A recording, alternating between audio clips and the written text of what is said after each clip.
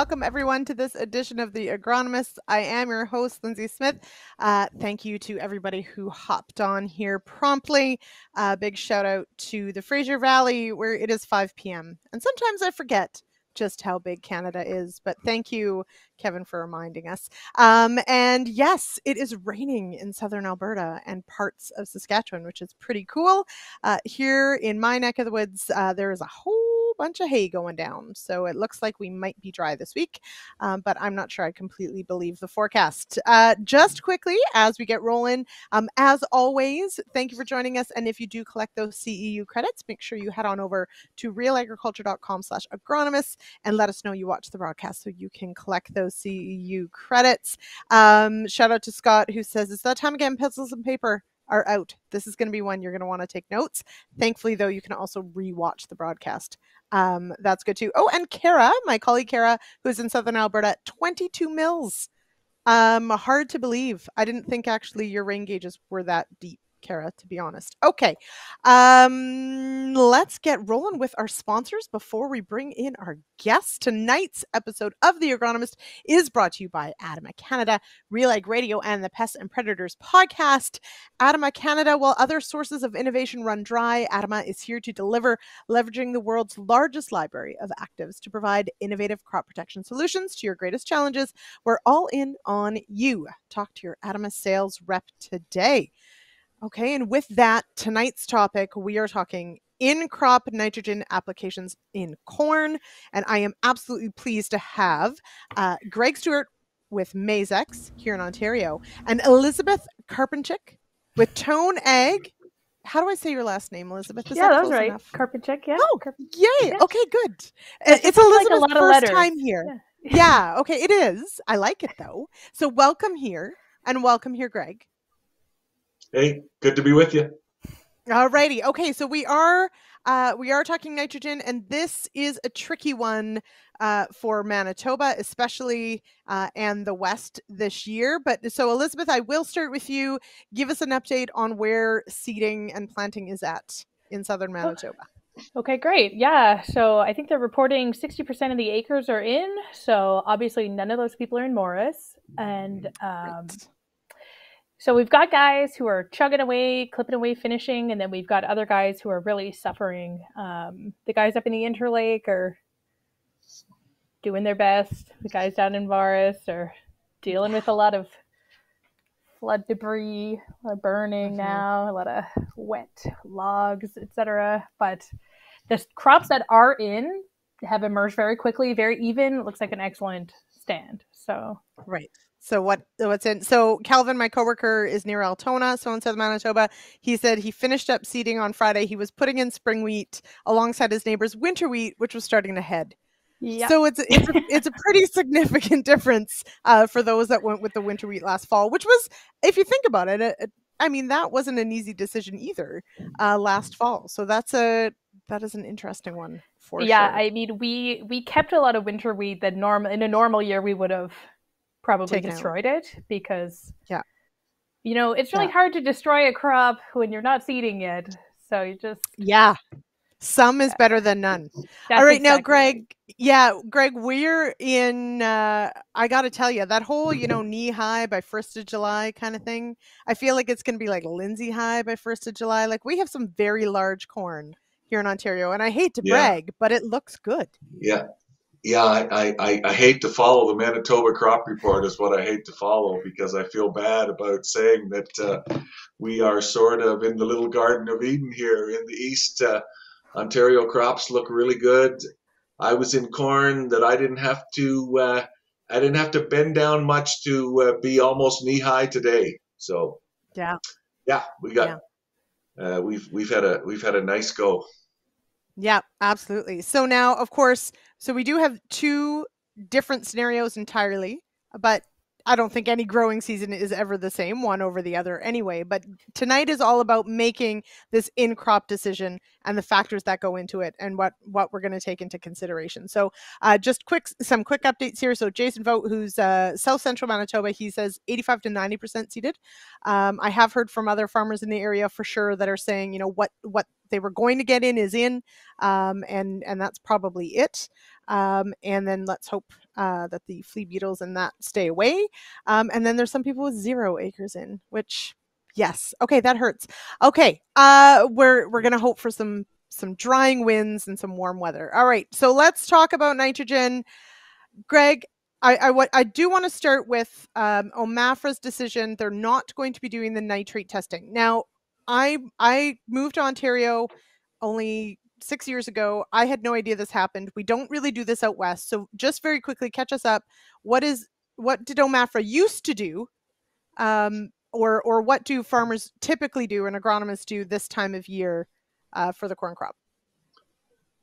Yeah, so a little bit of a little bit of historical perspective, which unfortunately I'm old enough to be able to give to you, is that uh, when when we started looking at soil nitrates, you know, there, there's there was sort of two, a, a, couple of different schools, and and the school that we sort of latched onto within OMAFRA is doing soil nitrate testing to try to track trends in the season season to season variability in the amount of residual nitrogen that, that would be available in the field, right?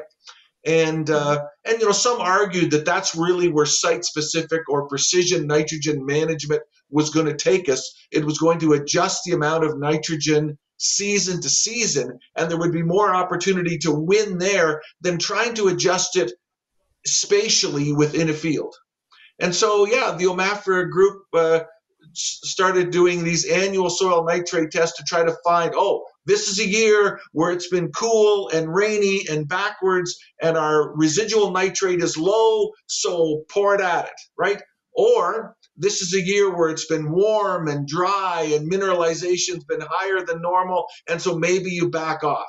Trying to track these season to season variabilities. And I think to be fair, the uh, the uh, the amount of brilliant seasonal wins. Oh, you know, this is a year where we clearly can all drop back 40 pounds, or this is a year where we can all add 40 pounds more. Yeah, it was never that big of a win for OMAFRA. The the season to season season to season differences were a little more subtle than we had hoped for hmm. uh, 20 years ago when we started it. Right, and so so one of the clips I have, which we'll go to in a little bit, does put some of that in perspective as well. In that, um, you know, OMAFRA did go from, you know, several sites down to about twenty.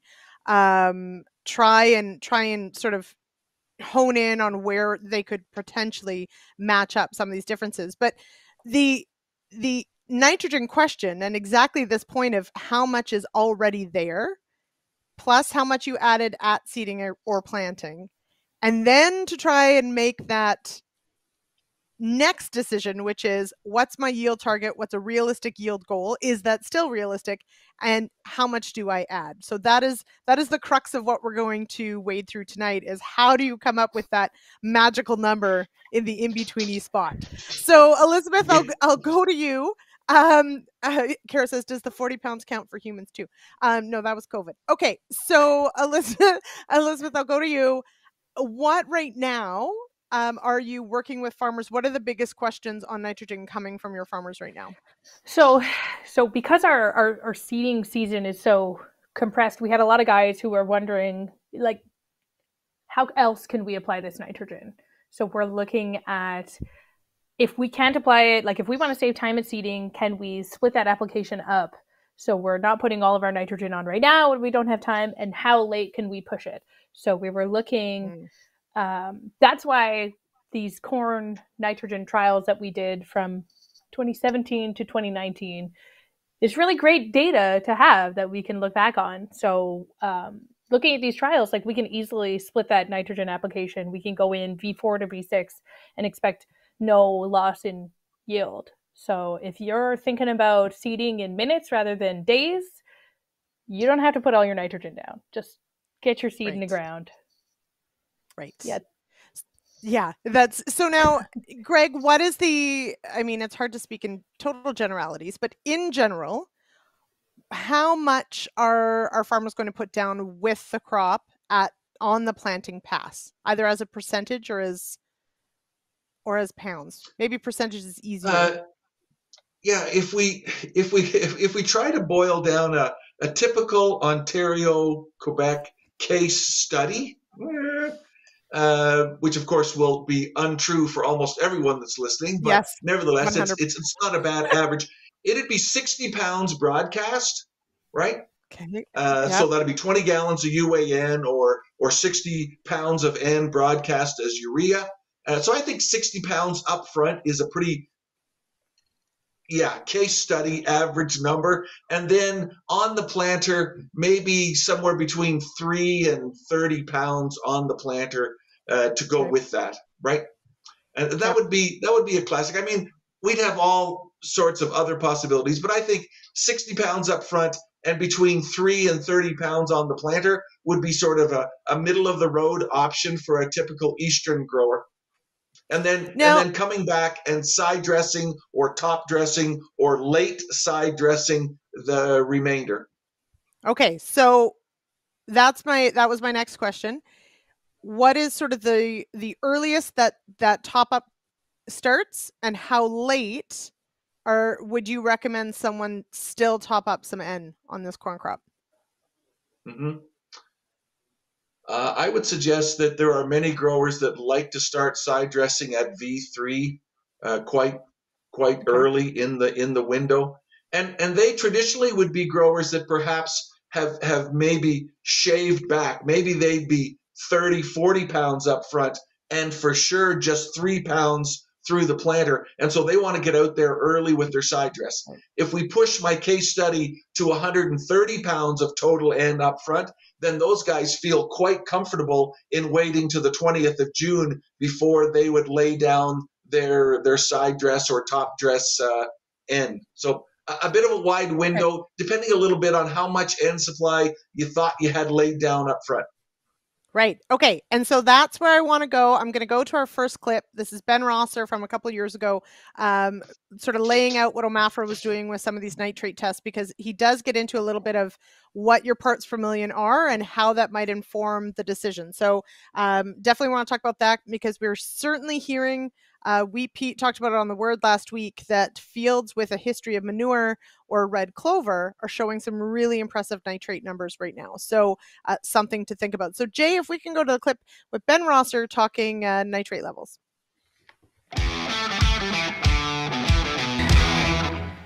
Hey, now we're back in the classroom. Uh, you've been out in the field doing a lot of nitrogen work, and uh, you just released your survey uh, of nitrate, your nitrogen survey this uh, this week. Tell us about uh, how it's changed over the years. You used to do an annual survey, but now you're looking at specific sites, right? Yeah, that's right. So in the past, uh, OMAFRA would go out, you know, typically first week of June timing, go out to maybe 80 or 100 fields where there hasn't been any applied nitrogen, uh, just get an idea where background soil nitrates are like a little bit before side dress timing. So that's how we did it in the past. Uh, we have a recent project now. It's a GFO as well as GF2 funded project where we have about uh, 20 locations across the province where we're actually trying to track nitrates from, say, the May 1st timeframe up until about the beginning of July and see how those values change over the course of spring. So instead of the 80 to 100 sites before, now we're looking more closely at about 20 sites. Right. Now, a lot of talk about nitrogen out there right now. I mean, it's been a ragged spring, uh, cold, wet, you know, corn going in in all kinds of different situations. We're coming up to side dress timing. You've got some informa- information here on the board um, that really tells a story about what's what's happening in the field and what's going to be available. Yeah, so certainly, you know, it's been a cooler than normal uh, spring, what we normally see. And, you know, nitrogen release in the soil is temperature dependent. So there's been big questions, you know, how much nitrogen is mineralized in a year like this where it's been cooler. So if we look back at historical results here on the chalkboard from our past PSNT surveys, you know, we have results from 2013 up until this year in 2017. You know, a general range that we normally see based on past surveys would kind of be in the 11 to 12 ppm range. Uh, 2015 was off the chart. We were 20, and that's exceptionally high. Um, but this year, when we looked at 2017 results for you know the first week of June, uh, we're at about an eight. So we're certainly below where we'd normally be uh, this time of year based on past surveys. Yeah. Now, what do you what do you uh, attribute to that uh, to Ben? But obviously that you know that weather, right? Yeah, so certainly it's been cooler than normal, and just that nitrogen's been a lot slower to break down because those you know soil microbes that have been slower to to uh, to release that nitrogen, work on the work on the soil and residue and that sort of thing. Right. So PSNT timing is really important for guys who are going to do side dress now.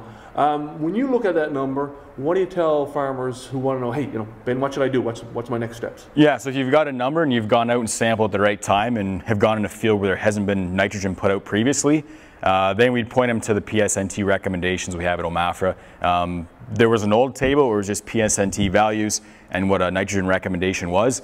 But back in 2015, there were some revisions to that. So now there's also a yield component to adjust the, uh, the nitrogen recommendation for a given ppm value, also depending on what your expected yield will be for that field.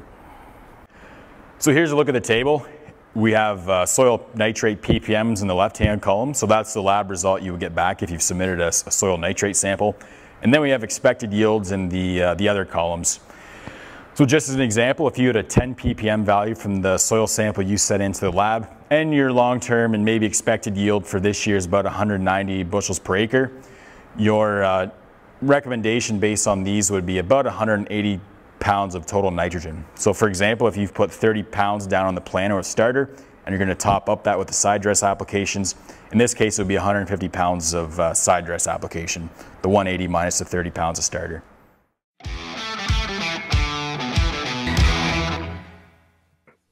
Oh, we do love tables. Okay, before we get back into our conversation, just wanted to send a shout out to our show sponsors, of course, Adama Canada, Real Ag Radio, and the Pests and Predators podcast. There is a new Pests and Predators podcast brought to you by Field Heroes every two weeks. So there is one going up tomorrow on realagriculture.com. Uh, and tomorrow's topic is all about spiders. And uh, my coworker, Brittany, uh, was writing it up for the site and informed us all she's terrified of spiders. So that's so we didn't know that and I apologize Brittany for making you write that one up. All right. Okay. Um let's talk that nitrate test translating through to that side dress. So Elizabeth are you pulling nitrate samples right now or are you working off of fall data? How does that work?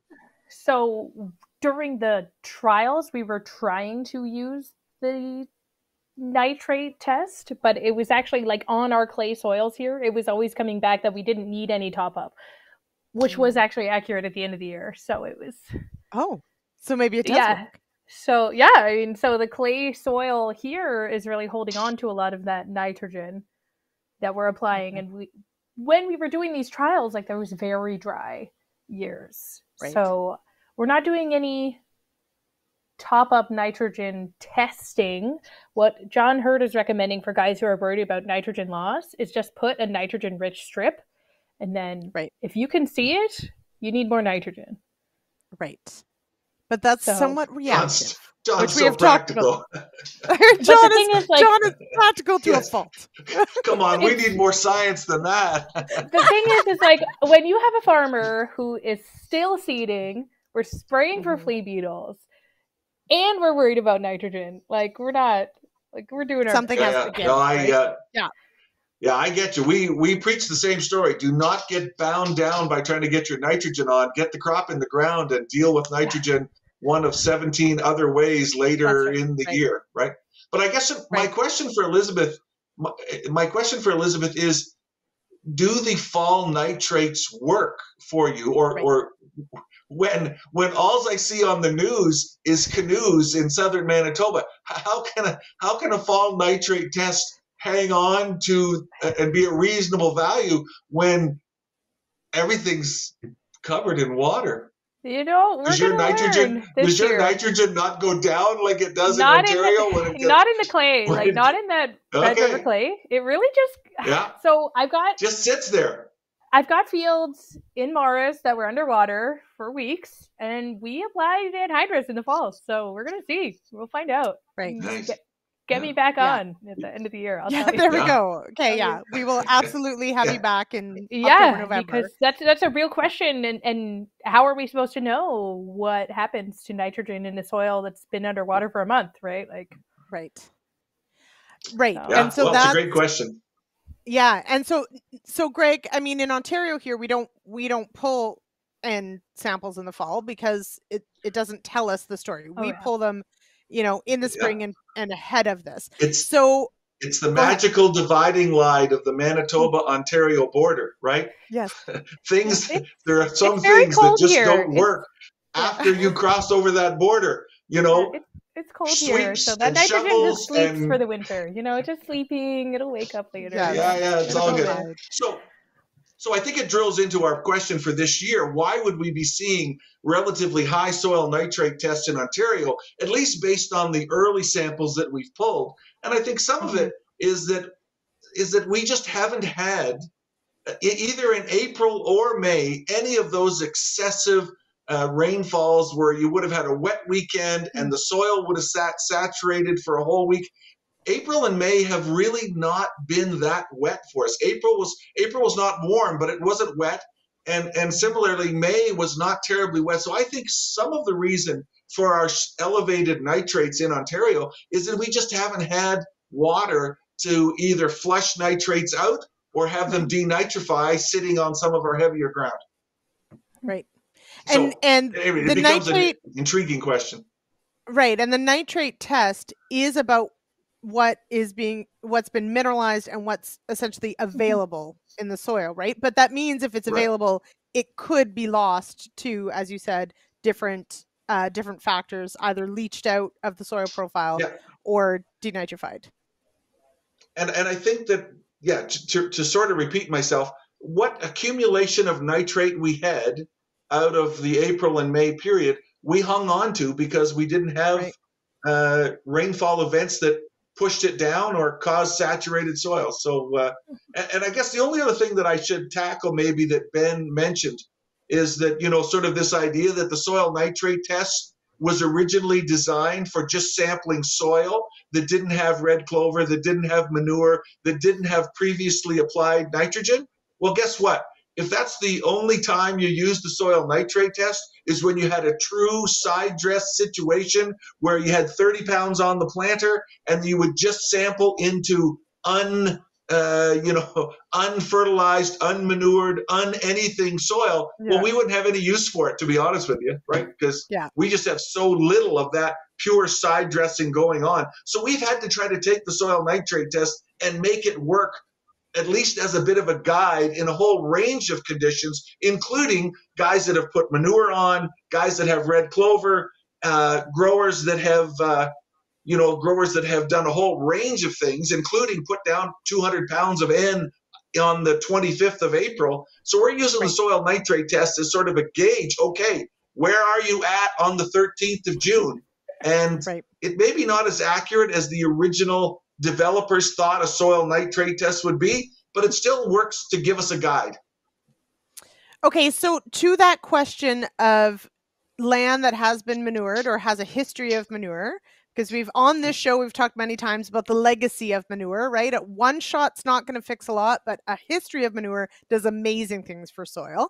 So for those acres that have a history of manure, um, or for those acres that had that a good red clover stand, now Wheat Pete saying and some other agronomists are saying there's some really high nitrate samples coming off. Do you trust those, Greg? Do you take that into consideration? Do you trust them enough to pull back what what you would advise growers to pl- to add? This is a big one. Yeah, well, it was really easy when I was a government guy to say, absolutely, I trust those. You can pull back. when the grower has Maizex corn planted in his field, I have a little harder time telling him to pull back. But yes, for the most part, for the most part, when you get those elevated nitrates, and especially if they're taken in this sweet spot, June 10 to June 15, uh, I, I tend to think if you've got very high nitrates, you've got to trust those and pull back. Okay. I, I think there is pretty decent evidence that you can trust those high nitrate numbers as being, uh, you know, a good reason to back off a bit. Okay. Elizabeth, what say you? Yeah, I uh, so we work with uh, quite a bit of manure out here, and we work with some really high organic matter soils. So we often Right. see those very high residual nitrogen test, except in the fall. But you know, close your ears. And uh, what we do with guys is if you're going to put any nitrogen down, like we put on some some reasonable amount. So instead of your 130, 140, we're going to do like 50. So we're reducing, but we're not doing 0 mm-hmm. So it's kind of the practical medium because right, yeah, to and, trust and, it, but we have to trust the science, but also yeah. cover our. But the other thing is, I'm not getting out of bed to put on 10 pounds of N. Like we're That's just right. nobody's doing yeah. that. Like yeah, that's uh, well, it's a good point, Elizabeth. Right? If I mean, if you're going to side dress, there you should be really. I mean, it's not worth it for 10 so no, especially right. with yeah. what fuel costs nowadays. So uh, so yeah. that is definitely a consideration. Now, uh, so our Canadian cowman friend out in the Fraser Valley um, sharing what things are like because of course there are provincial differences. There are rules, of course, in our in our management plans and our nutrient management plans. Um, and so discussing there about how they have to pull uh, Post harvest soil test is required every three years to see how much N is remaining. And if it is, I, I get the sense that if it is over a certain amount, it does trigger potentially restrictions the next season. Now, again, that's the Fraser Valley. Um, yeah which I'm pretty sure he tells us he gets six cuts of hay. So it's a totally different, totally different world where he farms, um, still in Canada, but uh, very different, but um, pretty neat and pretty neat to see. And and so this is, of course, this is one of these conversations, though, is that if we're soil testing, we're doing this for a reason. We need to know what's there. But mm-hmm. further to that point, we do need to trust what it tells us it, but not necessarily fully at the expense of leaving zero n added on and potentially that risk of that crop needing it so so i mean that it is a fine line now greg how you have a slide and and jay maybe you can pull this up it's it's sort of six factors that greg knowingly said we could spend if we wanted to cover all six this show would be two and a half hours long we don't have that much time but I do want to walk through. We've touched on some of these, uh, but maybe just walk us through when you're advising growers, when farmers are trying to make these decisions, and agronomists are trying to advise their growers. Walk me through how all six of these things work together on this decision. Yeah. So let's uh, let's skip to number two uh, the weather factors, because that sort of lines up with what we've been talking about, particularly in terms of rainfall, right? So the other option that has been talked about across many research and and uh, agronomic circles has been the idea that well if you have a decent recommendation let's say the recommendation whatever recommendation it is it comes back with suggesting you need 150 pounds of n to grow this crop of corn on this field so could you adjust that simply by rainfall? So I don't have time to take a soil nitrate test, but I can look at my rain gauge, right? And so is there a chance that you could adjust side dress in crop nitrogen simply based on rainfall? Well, uh, so a former University of Guelph uh, prof, Bill Deen, had a nice study and he essentially came back with that relationship, which is, you know, if you look at rainfall between the 15th of June and the 15th of July, that correlates pretty well that as you get more and more rain in that window, you probably should add more and more nitrogen almost relative to the, the millimeters of rainfall. So that's a good example of something that we're trying to get our heads around where where rainfall in a in a in some way could adjust the model that you might be using and uh, and his model was pretty simple. Essentially, uh, adjust your adjust your late nitrogen. Now, the problem for his recommendation is, well, what what equipment do I have that I can put nitrogen on on the 10th or the 15th of July, right? But you know, you get around, you, you work around those ideas. It's the concept of that rainfall could drive your side dress nitrogen rates uh, almost as a factor independent of what your soil nitrate test might be. Okay, so question about that is that is that the a function of loss or a function of mineralization? How is did he did he get to the point where he explained the why, or is it just that it works? So just shush up. Uh, I think it's a little bit of both supply and demand. Yeah. That is, right. when you have okay. a lot of rainfall, you may pull the supply down a bit, particularly on heavy soils that tend to sit saturated for a day or two. But at the other end of it, your increased rainfall pushes your demand up because the yields are going up. So it's it's probably a little bit of both s- short supply and increased demand when you have above average rainfall. Okay. I like It's my it. political answer. It's my political answer. I'm You're sorry. being, you're being very political tonight, Greg. I don't. Um, I hate being. I hate being political, diplomatic. but nevertheless, that's what I got for you. There you go. Okay, I like it. All right. Um, so we're going to move to our next clip. I'm very proud of myself for getting both of these clips in tonight. Um, just so the audience knows, I've stopped picking three. I now only pick two, and then I commit to actually playing them. Um, okay, so this one, so Elizabeth, this will be a lot of fun when we come back because these are the trials that we have referenced a couple times uh, tonight. So these went from 2017 to 2019. So so John Heard is on this clip. He's going to uh, talk about what these trials were, and then we'll come back um, I have dubbed this the uh, many ways to the thousand ways we can apply N in the corn crop, which is not a thousand, but it's pretty close. All right, Jay, if you can run the clip with John Heard and Kelvin Heppner in Manitoba.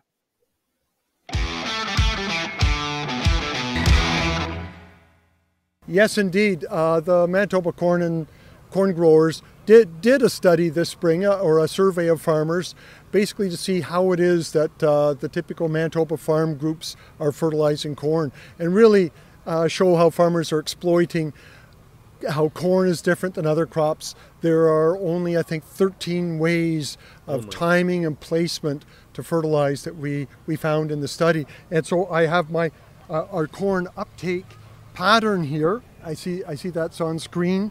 So what we find that uh, uh, about 30% of farmers in the year this uh, survey was done uh, typically apply fertilizer in the fall. Very common on the clay soils, and that's fall banded ammonia. So they'd be applying nitrogen way out here on this, on uh, if the chart extended. A further 30% uh, typically apply nitrogen uh, adder before seeding, broadcast urea predominantly. And then we, we had about 15 to 20% would apply uh, nitrogen at seeding, often urea in a sideband application. And then we have about 20% that apply nitrogen in season, either side dressed uh, anhydrous ammonia or 28%, or what many farmers are, are trying and using now, we're tooling up, is dribble banding. So there is no one size fits all. There's a, a number of options. And within that, there's also different forms. One way that we've spoken here about accomplishing that split application is through simply using some controlled release fertilizers. That also accomplishes essentially a, a, a split uh, a supply of nitrogen to the crop. You mentioned we're seeing more of that in-season application, though, as as has been done in the Midwest U.S. for a while. A while. Are are we going to continue to see that trend unfold here? Farmers have the equipment, and because they can, they will. Uh, but uh, we, our research in 10 sites have, have not shown an advantage nor a disadvantage to splitting nitrogen in season. We might expect advantages in those years when we experience early season losses, when the plant isn't using much nitrogen, but if we have all upfront nitrogen, that nitrogen is vulnerable to loss. If farmer, if we have those conditions and farmers have the option to supplement in season, that's where we would, might expect those systems to shine or have some possibilities. But in a normal year, uh, we just expect that uh, uh, there's no yield differences. It does, however, give farmers a chance to, to delay making that decision on how much they're going to put on, and they can maybe react to uh, weather conditions.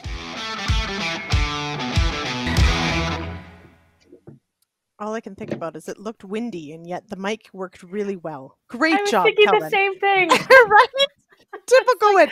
Like I can see the like, wind. I can't hear it. Yeah, it's pretty great. really Okay. good. All right. Before we delve into these trials and and the many ways we can, of course, get and uh, to this crop, I do want to send out another shout out to our show sponsors, to Adama Canada, to the Pest and Predators podcast, and of course to Real Ag Radio, uh, Monday to Friday, 4:30 Eastern on Rural Radio Channel 147 on Sirius XM. Okay, so Elizabeth.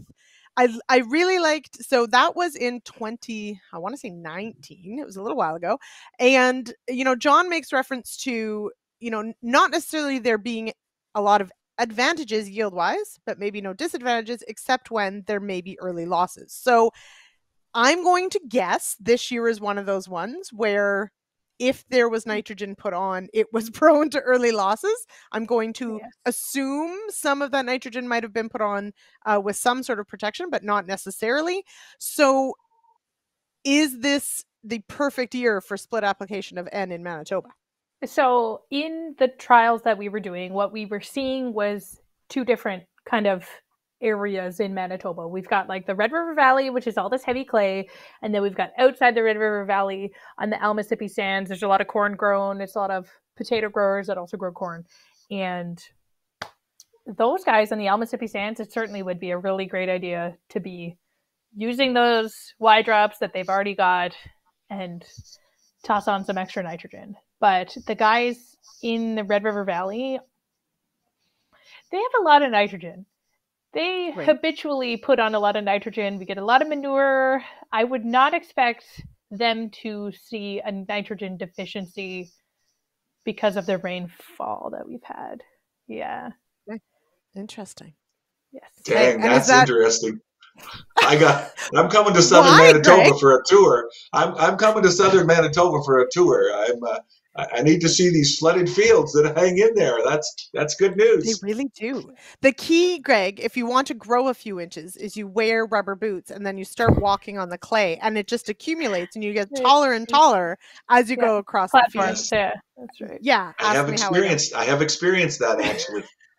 yeah. I, I, I, I, mucked up about 17 gas stations in southern Manitoba because I only had one pair of boots and I couldn't get yeah. the dang clay off my shoes. Yeah, that's yeah. right. That's exactly No, the worst is when your backup shoes also get really muddy.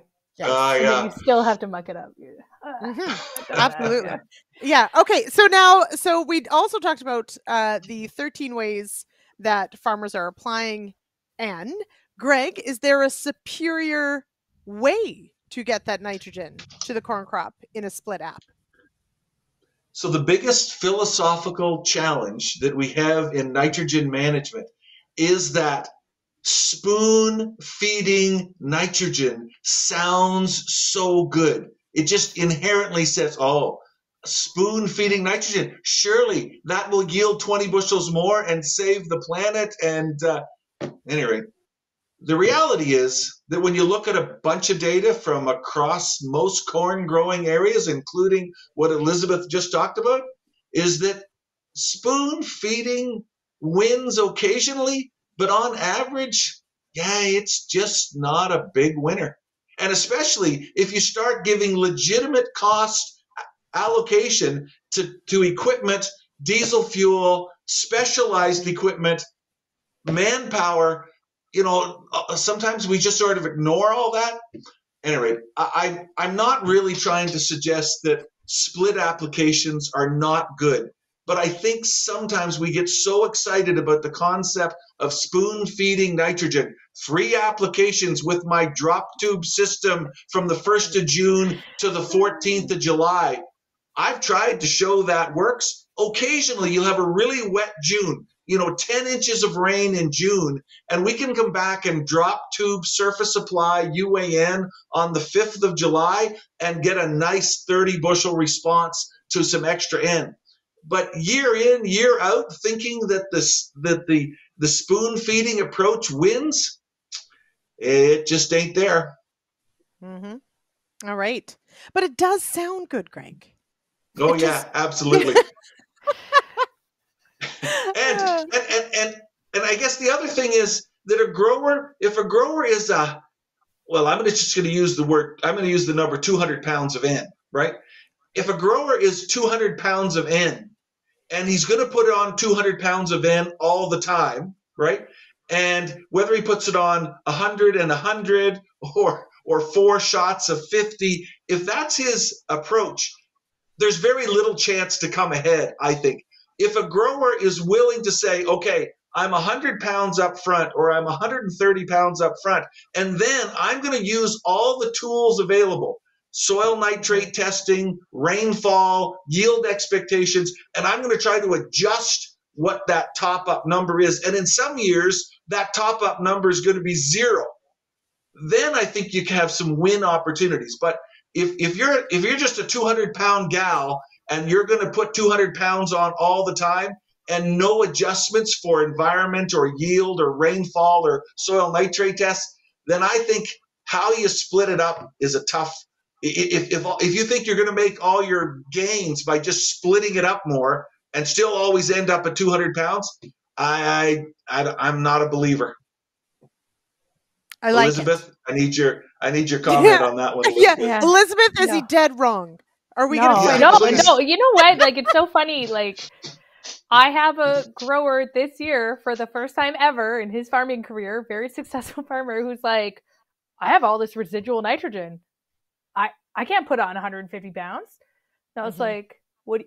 What do you mean you've always been putting on 150 pounds? Like, Yeah. so he's been soil testing, and then like But still. stacking them on the side and never reading them. Like I don't understand. Like Well, okay, but that also does happen sometimes. I can't believe Because- it. Like I because- like, well- I can't believe it. But that's Cody, why like, that's why they I've hire been- you, I've been soil That's sampling for him you. for years, and I'm like, you just ignore it every year. Like I do all this Yeah. work, and like, So, And, and but I it- guess the it- other thing we should, if I, if I could just throw in one other Yeah, idea, course. right? of course. that uh, that at least in the east, uh, what we have sometimes missed is the growers on heavy soils are a certain group, and the growers on really coarse textured sands are are another group, and then you have all the sort of loam soils in the middle. Well, Mhm. the places where there's opportunities to make money by splitting and spoon feeding are on the heavy clays and the sharp sands and not so much in the middle on the loams where you couldn't lose a pound of nitrogen in Oxford County in Ontario tried. if you tried because it never sits saturated and it never leaches Right. out the bottom.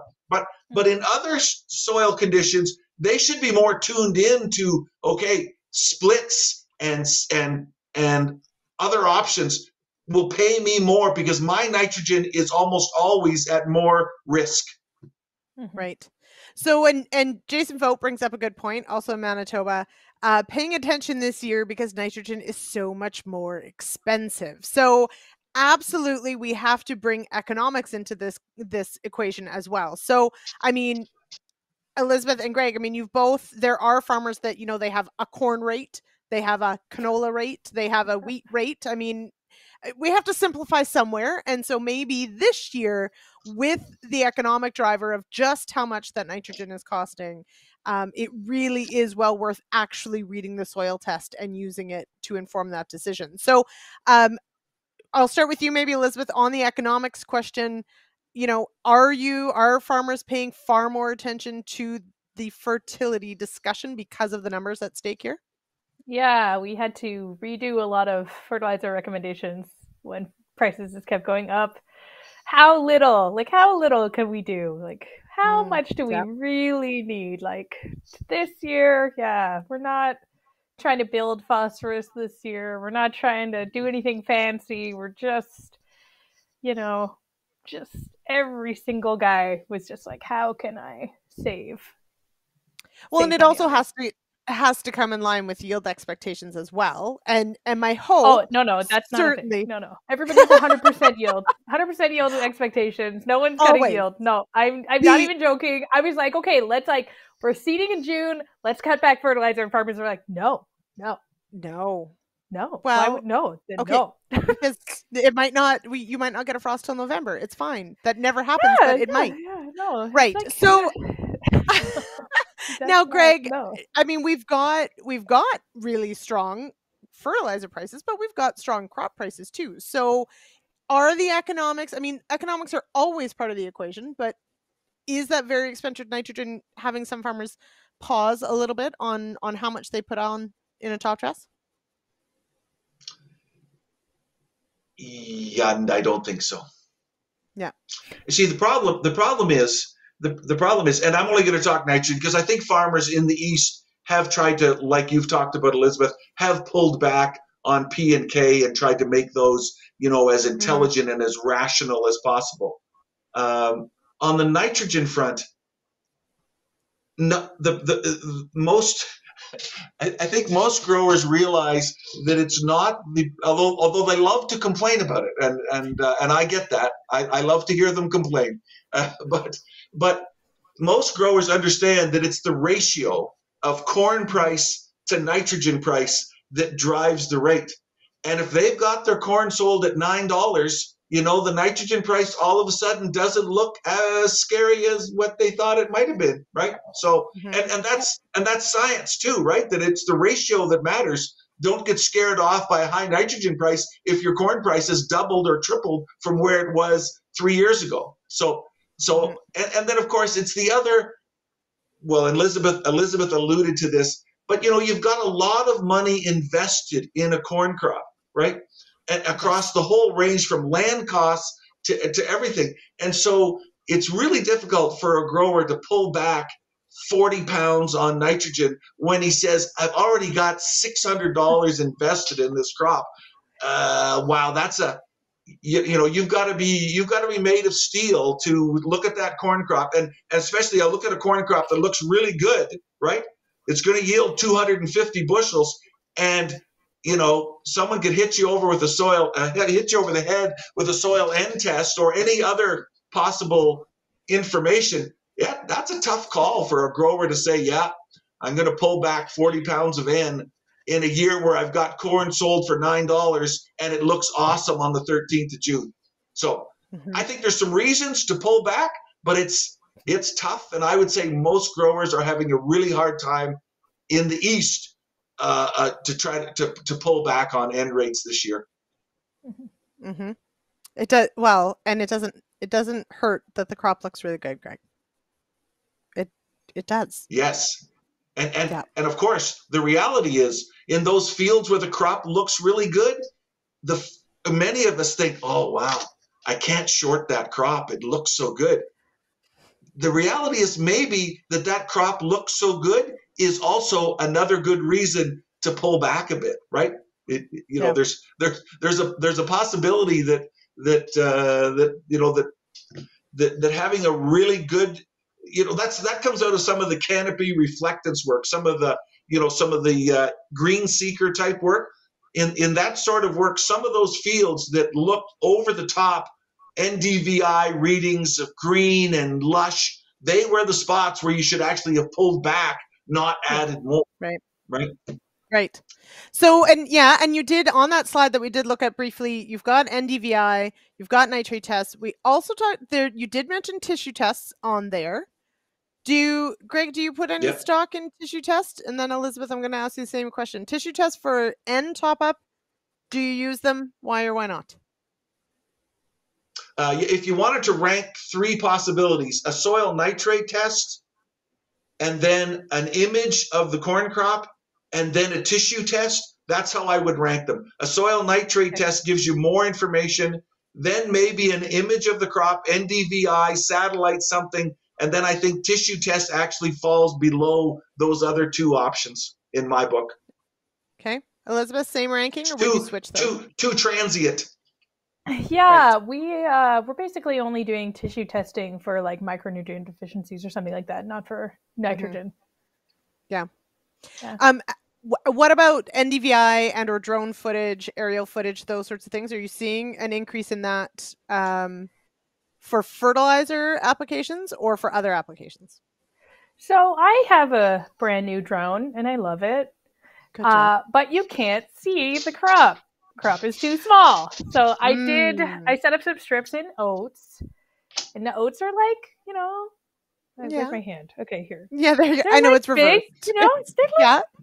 big, and yeah. I can see it from the road. I'm like, yeah, there's the zero treatment. I see it, and then you send yeah. the drone up, and it all looks the same. You're like, well, right. dang it! Come on, drone. Yeah. It's because there's too much brown, right? Like they're not that right. smart. They're just looking at a pixel and assigning a color, right? Like, so we're not mm-hmm. going to be able to use the drone until well past the time where you would be able to do anything about that. But we right. intentionally did this N deficiency in the oats because we're experimenting. We're experimenters. Right. And, uh, yeah. So, but I mean, it's a good point though, right? I mean, same thing with with leaving a, an N strip, right? Or those sorts of things is often you'll learn something, but you may learn yeah. it too late to do anything mm-hmm. this season. Yeah, and that's why that's why we set up this trial with oats because that's the question is everybody always cuts back and rate on oats because they might lodge or whatever, but we've been like, you know, creeping it up and so we're doing a little experiment. so Okay. I like it. Yes. And oats I also like that oats are are kind of cool again. Sorry, Greg. I know you don't care at all about oats. Uh, I eat oats yeah, no, every morning. We're oh, a Cheerio so country here. Like, no. Yeah, exactly. I do too. I'm like a pony. I have my oats every morning. um, so yeah, so we're good. But it well, it's actually so it's interesting to me to see oats even here in Ontario. There's um, I mean, oats is a cover crop. Just absolutely everybody oh, yeah wants them, right? Um, yeah. and and for forage and those sorts of things. But then, of course, as a cereal, cereal crop in Manitoba, really yeah. has gained ground, which is uh, pretty cool to see. All right, um, now I will before we run out of time because we are running short here. If anyone in the comment section, I know we've got a good group following along. Um, if anyone's got any questions for our guests, of course, uh, I feel like I have been monopolizing both of your time and asking all of my questions, which I'm the host. I am allowed to do. So, but they have um, been good questions. So, uh, thumbs well, okay, thank me. you. Okay, thanks. I yeah. take a lot of notes and uh, and you know and work them in. Anyway, these are I get to pick the topic and I get to pick the people. Um, so I I have a lot of fun getting to do these things. Um, which I should note next week we're talking forage. So uh, anyone following along, or if you have anyone who should be watching that when we're going to talk forage, I I think uh, Sean lets me have like one show a year that is focused on forage agronomy. So I'm going to use that one next week. I think forage is more important than that, but it's not soybeans, corn, canola, or wheat. So I lose. I only get one show. Um, okay, so so Greg, here's you did mention, uh, of course, you know there is a window for adding N, and then part of our challenge is the corn crop gets so gigantic. Um, even if we could potentially gain some yield, we just don't have the tools. So so recap again how late can i go in? Mm. and and it well, be effective? uh, let's let's set well let's not set the equipment question aside altogether but let's suggest to you that in the east at least we have a significant arsenal of high clearance drop tube type equipment right? And so mm-hmm. so let's say that that is a possibility. For anyone that wants to invest in it it is a possibility and uh, and and you know, I sometimes facetiously say that I think everyone should own high clearance wide drop equipment and just hope that you never have to use it because you don't get you know big rainy Junes or you don't get corn that looks like it's waterlogged and run out of nitrogen. The reality is, if you've put 75% of your nitrogen down before the 20th of June, that last 25%, it could go on almost any time right up to tassel, oh, and you would be okay dokay. Yep. Okay. It's it's a so 35% of the nitrogen still has to flow into a corn plant after tassel.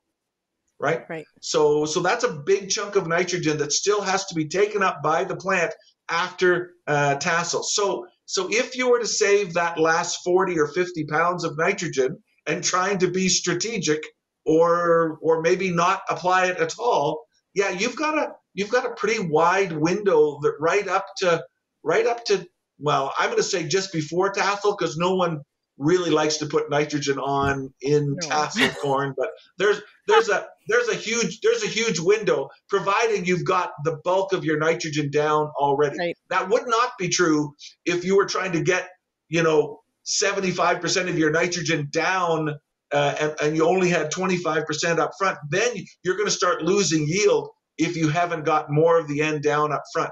But if you've got 75% down up front, that last 25% could run right up to, to tassel and you would not give up any yield, in my opinion.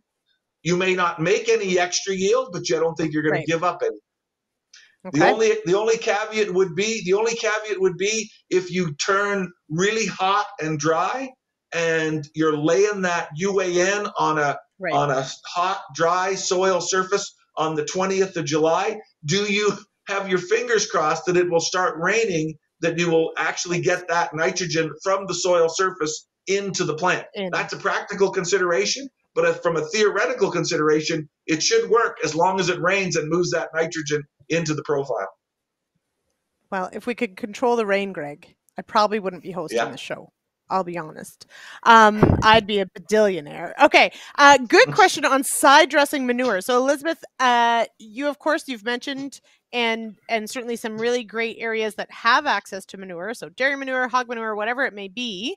How late have you seen farmers experiment with putting manure on corn? I know I've seen some I- really neat stuff in Ontario, but I, I don't know about Manitoba. I have never seen anyone in crop apply on corn. No? We have a lot of um, we have a lot of rules here, so you gotta- Yes, there are a lot of rules in Manitoba about poop. And and the other thing is, is like normally, like Yeah. you set up your lagoons to be emptied at specific times. So that would be like Yep. in crop, you would not expect it to be full. So it, no, the only times I've seen it is like emergency situations, Right. and usually they'll do it on a cereal and not on a. Interesting. See, because I sort of imagine, especially like like hog manure or something, would I feel like there's you got those giant rows? Why wouldn't you put some manure? yeah, but there, you right? got this big drag line behind you that's just yeah, but like they'll bend and pop back up, right? Greg, am I No, crazy? don't, I don't know. Am I Like, crazy? I don't know. I feel like, but Uh, like most of the time, like if you're doing manure for corn, you're putting it on the fall, and then Yeah. if you're doing manure in the spring, you're not doing corn. You're going to be doing canola. Right. So Okay. Yeah, cool. Uh, well, if you're drag lining, we have growers that drag line corn on drag line manure on standing corn, but they do it maybe at three leaf.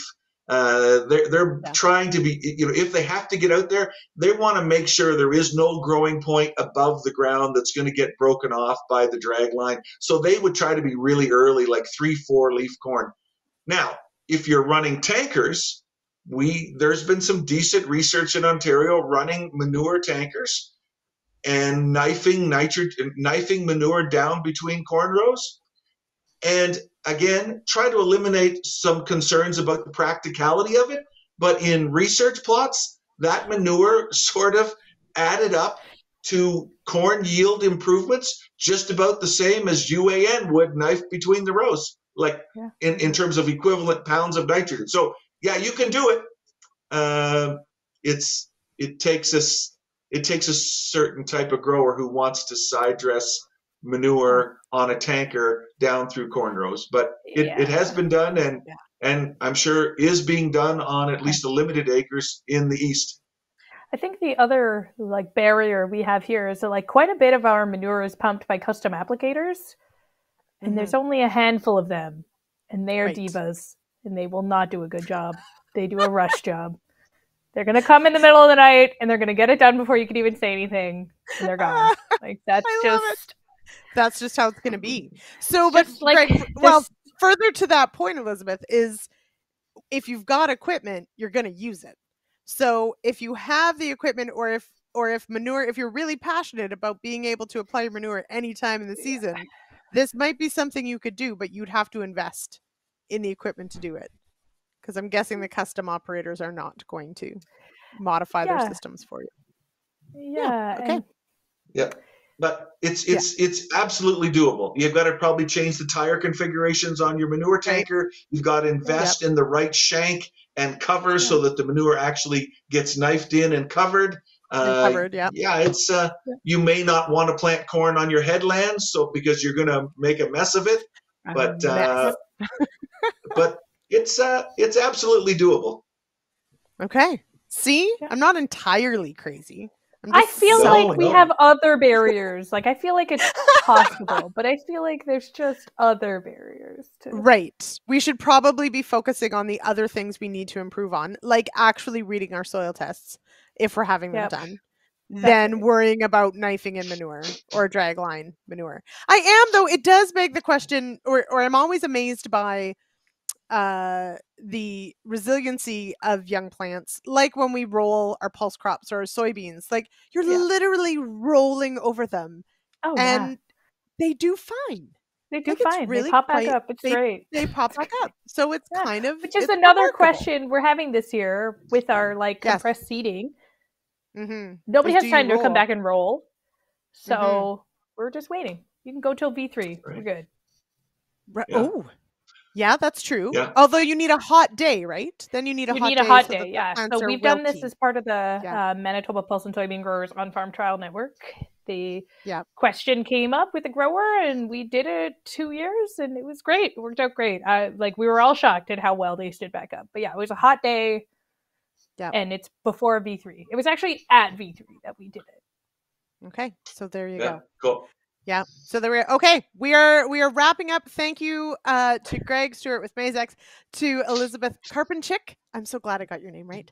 Uh, with Tone Ag in Southern Manitoba. This is super exciting. Uh, thank you to both. And Ray Domenko had a great point. He said we should have you both back in the fall, and we should talk about how this season went. So and and see how it all turned out, and see what the right call was. How late could you go in? How much N? Did any crazy farmers not put any top up and did it work Okay. out that's Okay. we'll have you back and we'll Yeah, check and we'll well, see And- see how and your oats we did. could appeal we could appeal to all growers that if you don't do some checking you will be no smarter next year when you're trying to make That's these right. decisions than you are this year if you haven't That's laid right. some strip down some Yeah. check you you you'll well for some people it's not a big downside but for me if i'm not a little bit smarter next year then we've got problems. That's right. We only have so many growing seasons to improve right? So we got to learn Right on. something every year so absolutely all right greg and elizabeth thank you so much uh, for joining me tonight great show i really enjoyed it and thank you of course to our show sponsors Adama Canada, RealAg Radio, and the Pest and Predators podcast. A reminder to all, uh, head on over to realagriculture.com slash agronomist to collect your CEU credits. And next week, yes, we are going to talk about forage agronomy. So get your questions ready. Um, and forage can include cover crops, everyone, just so you know. All right, we'll see you next week. Cheers, everybody.